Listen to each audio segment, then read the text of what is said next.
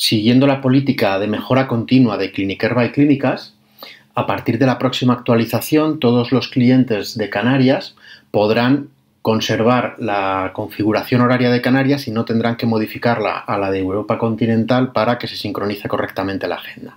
Para poner vuestra zona horaria correcta, si tenéis un Mac, lo único que tenéis que hacer es pulsar en la parte superior derecha donde aparece la fecha y la hora,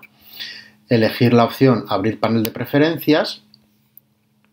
y poner la zona horaria correspondiente a las islas. Puede ser que tengáis que desbloquear la configuración poniendo la contraseña de vuestro ordenador, como es mi caso, antes de poder elegir tanto la zona horaria como cambiar a la hora correcta.